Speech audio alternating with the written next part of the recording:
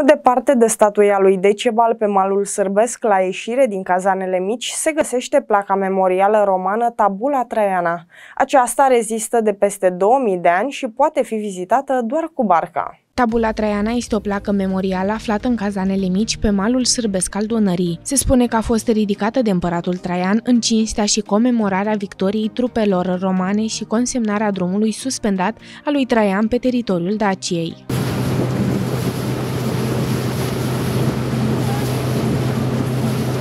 Zece tabule au fost dăltuite în defileu, dar doar tabula Traiana se conservă și poate fi văzută de turiști. Alte patru tabule se păstrează în ilustrații din secolul al XVIII-lea, restul fiind distruse.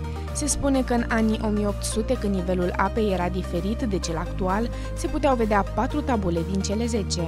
Această tabulă face parte dintr-un șir de mai multe tabule, mai exact 10, fiind singura tabulă conservată cele nouă au rămas undeva pe poziție, undeva la fundul apei, chiar această tabulă, fiind cea mai mare și cea mai importantă, s-a luat hotărârea să fie decupată și să fie mutată 30 de metri mai sus, exact în poziția care se află acum.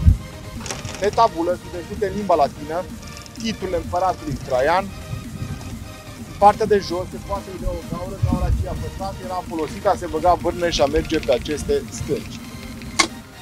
Împreună cu Apolodor din Damasc au făcut podul peste Dunăre la Drobeta Turnul Severin.